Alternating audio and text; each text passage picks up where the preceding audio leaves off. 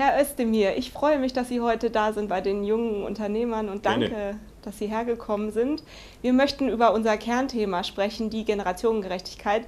Denn die Staatsverschuldung ist ja so hoch und die Jungen müssen die Zeche dafür zahlen später. Was kann man tun Ihrer Meinung nach? Wie können wir mehr Generationengerechtigkeit erreichen und die Zukunftschancen der jungen Generation verbessern?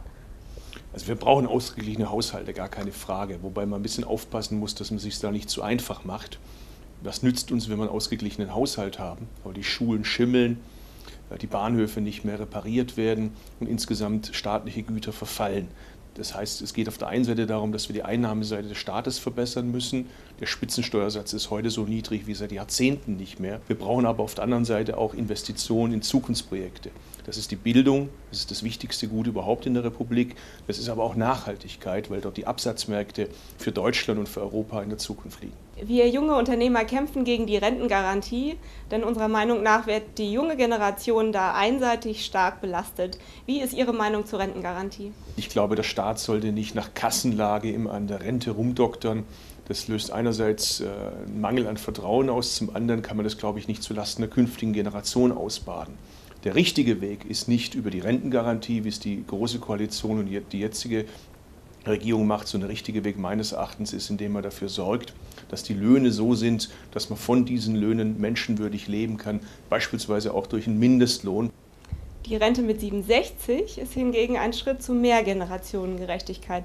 Was sagen Sie den Politikerkollegen, die die Rente mit 67 wieder abschaffen möchten? Ich glaube nicht, dass man sie abschaffen kann. Man wird wahrscheinlich sogar irgendwann mal darüber reden müssen, wenn die Lebenserwartung steigt. Insgesamt, wenn die Menschen eine längere Spanne haben, wo sie im Ruhestand sind, die sie sich auch verdient haben, wird man vielleicht sogar über noch höhere äh, Eingangsalter sprechen müssen. Was man aber zugleich auch tun muss, und das ist, glaube ich, das, woran die Diskussion krankt ist, dafür zu sorgen, dass es auch Jobs gibt für Menschen in dem Alter. Gehört denn das Prinzip der Generationengerechtigkeit ins Grundgesetz? Wenn es nach meiner Partei Bündnis 90 Grüne geht, ja. Wir finden, dass es Zeit ist, dass das Prinzip der Generationengerechtigkeit Eingang findet in die Verfassung. Nicht, weil ich glaube, dass dann auf einmal alles viel besser wird. Mit so Verfassungsprinzipien ist es ja so eine Sache mit deren Umsetzung. Aber ich finde schon, dass unser Grundgesetz es verträgt, dass klar ist, dass wir ein Interesse daran haben in der Politik, dass es generationengerecht zugeht. Genau, Generationengerechtigkeit ist keine Einbahnstraße, aber die Rentengarantie schädigt den Generationenvertrag. Glauben Sie, dass die älteren Menschen auch bereit sind, auf Besitzstände zu verzichten in Zukunft zugunsten der jungen Generation?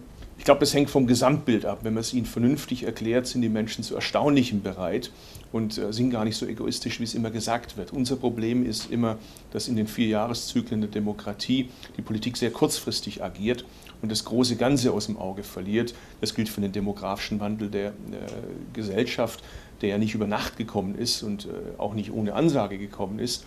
Es gilt aber auch aktuell für die Frage der Rentengarantie, es gilt für die Frage der Nachhaltigkeit gegenüber Haushalt, gegenüber Ökologie. Für all die Fragen, die über eine Legislaturperiode hinausreichen, wäre es eigentlich schön, wenn die Parteien sich bemühen würden, überfraktionell, Opposition wie Regierung, einen Grundkonsens zu formulieren. Wir jungen Unternehmer danken Ihnen sehr für dieses spannende Gespräch, Herr Östing. Sehr gerne.